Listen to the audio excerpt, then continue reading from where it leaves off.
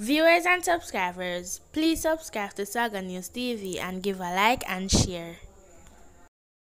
A man was killed by police during an alleged confrontation in Davyton, Manchester on Saturday morning. Relatives named the deceased as Andrew Knight, otherwise called Boxer, a 41 years old construction worker and resident of Davyton.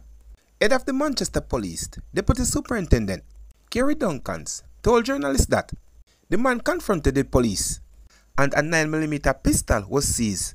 Around 4.30 am, the police team came to this location, Davyton, with the intention of executing a search warrant. The house was breaches and on entering, they were confronted by a man who armed with a firearm. The police responded and the man was shot and injured. He was taken to the Mandeville Regional Hospital where he was pronounced dead. One firearm was also recovered, said Duncans. Relatives were reluctant to speak on the record to the media. At the scene, they however questioned the police version of incident. The Independent Commission of Investigation INDECOM is probing the incident.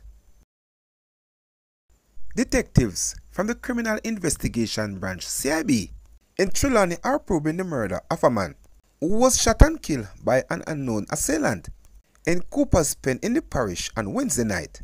The deceased has been identified as 32 years old, Durant Burke, otherwise called Crime of Hague District, Trelawny.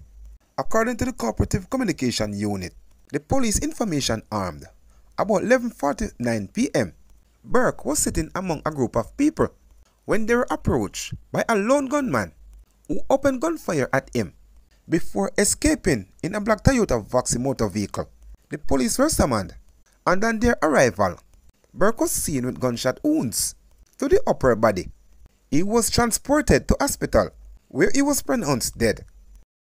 The Kingston East Police Division seized several rounds of ammunition during a snap raid along West Avenue, Elliston Road in the parish on Friday, May 17. Reports are that about 3 p.m., a team of officers were in the mentioned area when a house was searched and a plastic bag containing 15 9mm cartridges was found. To the rear of the premises, no one was taken into custody in relation to the fine. Investigation continued.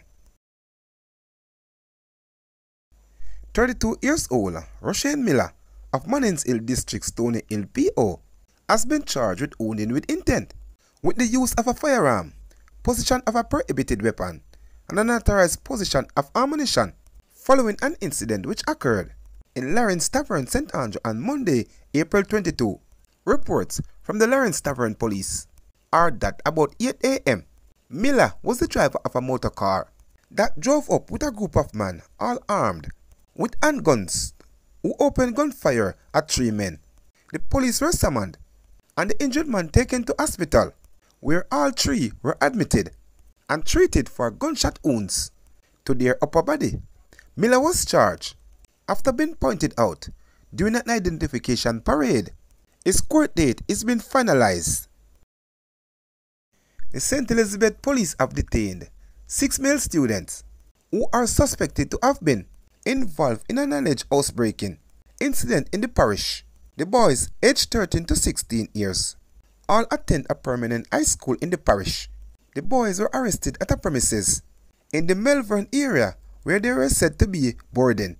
They were taken in in due to an ongoing investigation for us housebreaking in, said Superintendent Coleridge Minto, head of the St. Elizabeth Police, in an interview with reporters at the sideline of the ground breaking ceremony for friendship. Oaks Phase 1 in Goshen in the parish. He added that eight televisions were recovered at the premises where the raid was conducted. In noting that investigations are still ongoing, Minto said representation have been made at the court to decide whether or not we will grant them bail or to them. He said the police will provided the necessary support to the youngsters.